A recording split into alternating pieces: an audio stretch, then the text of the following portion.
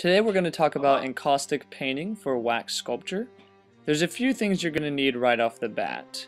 Uh, those include Gamblin oil paint or other oil-based paint, a palette knife and a paintbrush to apply that paint.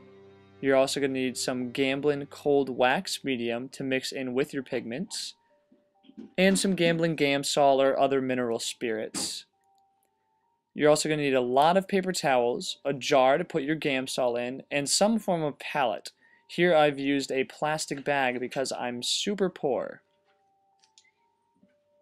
You're also going to need a torch, a striker, and a respirator in some cases.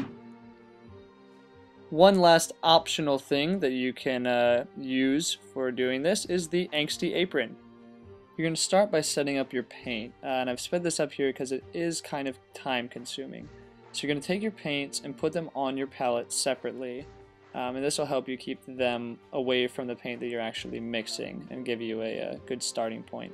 Now you're going to take your palette knife and uh, mix these paints together, making sure to clean your palette knife with the tissue paper uh, in between changing color.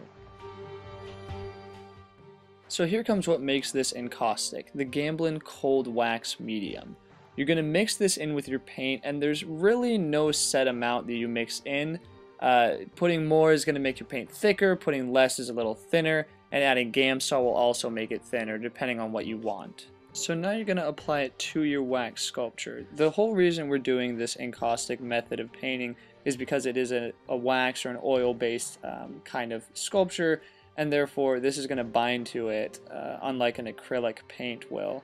Um, so again, the main thing to make sure you're doing is mixing the paint with your palette knife, cleaning your palette knife um, with tissue paper or some other paper material, um, and the same with your paintbrush. You're going to want to take your paintbrush and put it in that jar of Gamsol uh, and then clean it with the tissue paper regularly so you're not mixing colors. Here it's not so much of a big deal because we're laying down a dark coat um, to kind of put underneath of the colors that will go on later. And uh, I'm not going to finish this entire sculpture painting wise, I'm just going to get down this base coat. So now I know what you're thinking. Why is he painting this sculpture? It's not even finished. You've got the mold lines on there, there's specks of stuff all over the place. It's it's just crummy all over the place. Um, the reason I'm painting this is one, the paint will actually cover up some of the uh, imperfections as it is thicker, and two, we can still edit the wax sculpture. What we're going to need to do is make sure the room is well ventilated. We're also going to need to put on that respirator because these paints are toxic and we're going to start burning them. So to edit your sculpture, you're going to want to turn on your torch. Then you're going to light that with your striker. You're going to want one central blue flame as opposed to two separate flames that you'll see. This is a more intense heat. You're going to take your tissue paper and hold this beneath wherever you are torching your sculpture to catch excess wax that drips down.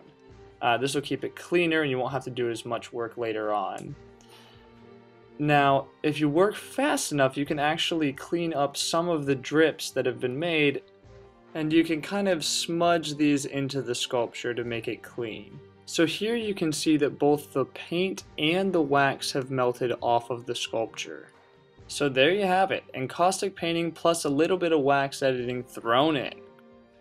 One final note is that because this is an oil-based paint and it is so thick, it may leave brush marks on your sculpture, you can use a rag to clean these up. Uh, your hands are going to get a little bit dirty, but you can give it sort of a textured tone. And that's something that's nice about the encaustic medium is you can make it have these sort of textures because of how thick it is.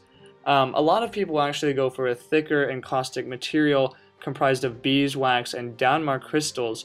However, this has to be heated, it's a long drawn out process, and it's much more difficult than using this cold uh, wax resin. So there you have it. We've got our encaustic based paint all over that sculpture. Uh, ready to go. You can keep on painting it, different coats, different colors, wait for it to dry and dry brush it, whatever you want to do, it's ready to go.